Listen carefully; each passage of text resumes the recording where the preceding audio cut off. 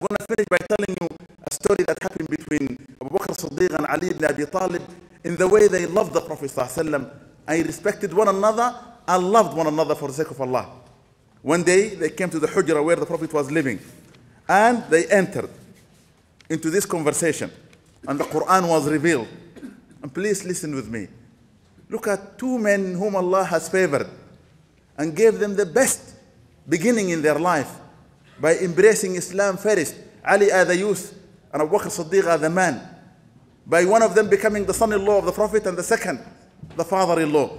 By two men whom the Prophet loved and cared for. One became the first Khalifa and the second became the last. By two men whom the Prophet loved and cared for in the day of judgment. They will be among the first whom he will allow to give intercession for others. When they were standing, Abu Bakr Siddiq radiallahu ta'ala anhu said to Ali ibn Abi Talib, could you please knock the door and enter because it is your house. Abu Bakr Siddiq said to him, but the best woman has been given to the best man.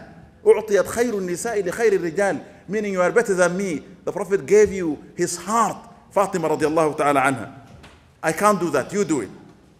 Ali then replied to him, when the day of judgment is there and people are standing regretting what they have done, a call will come from the truthful Allah Almighty God. O Abu Bakr, enter you and your beloved Muhammad into paradise. You are more deserved of entering first to see your beloved than myself. Abu Bakr then said to him, There will come a day in the day of judgment when everyone will be coming walking, but you will be coming riding. And a call will come from Allah. O Muhammad sallallahu alayhi wasallam, in the world, the best father you had, Ibrahim alayhi salam, and the best brother was Ali ibn Abi Talib to you. Ali ibn Abi Talib never went one foot step forward to enter, but said to the Prophet ﷺ or to Abu Bakr Siddiq radiallahu ta'ala anhu, if the iman of the man is standing before me is put in one side of the scale, and the iman of the whole ummah is put in the other, indeed the iman of this one man, Abu Bakr Siddiq, will be heavier. You are greater than me. Abu Bakr Siddiq said to him, Ali ibn Abi Talib will come in the day of judgment, his wife and his children riding. And everybody will think, who is this prophet? Then straight away, Sayyidina Abu Bakr Siddiq radiallahu ta'ala anhu said to him, you should enter because a call will come and said, Ya Habib, Rasulullah sallallahu alayhi wa sallam, O beloved Ali ibn Abi Talib, enter into paradise.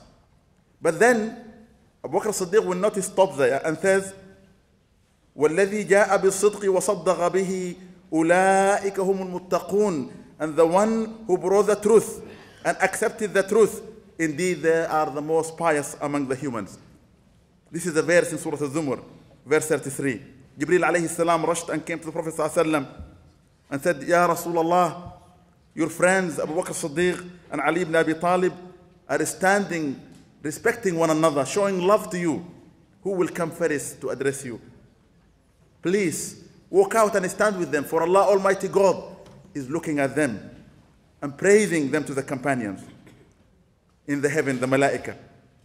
And He has chosen for them a special mercy and accepted them.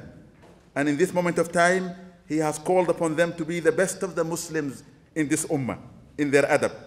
And Nabi sallallahu alayhi wasallam walked out, and Jibril is beside him. And then when he saw them, he looked at them and says, there is nothing I could do but kiss your foreheads.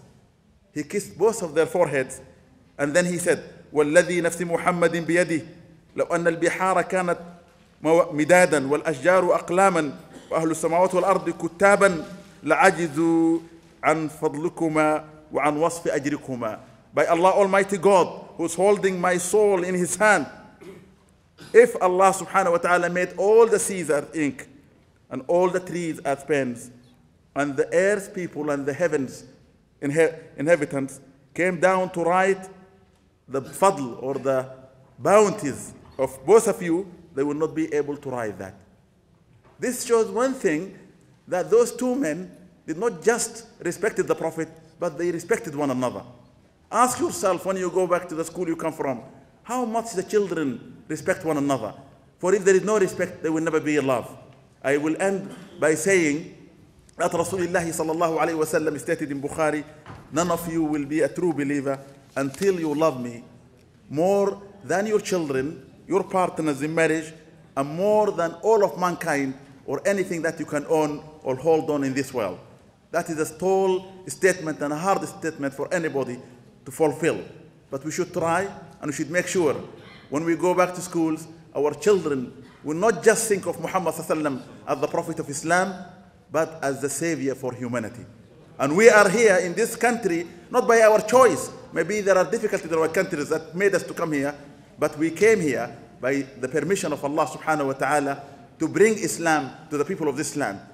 If we couldn't do it properly, we have the chance to give it to those who will do it properly. May Allah guide me and guide you and allow us to do that which will please Allah subhanahu wa ta'ala. Jazakumullah khair. Wassalamu alaikum wa rahmatullahi wa barakatuh.